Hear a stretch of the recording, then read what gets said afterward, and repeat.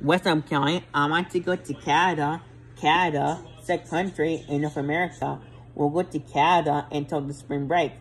So Western will go to Canada until the spring break. We'll fly Air Canada, Air Canada to Canada.